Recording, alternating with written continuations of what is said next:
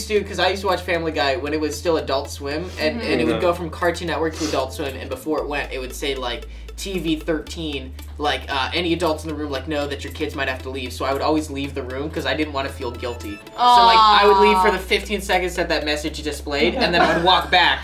Like oh, I didn't know it was for me. That's like, how you oh, knew I didn't God. That's how you knew you were too young and stupid to be watching Adult Swim. like real talk, man.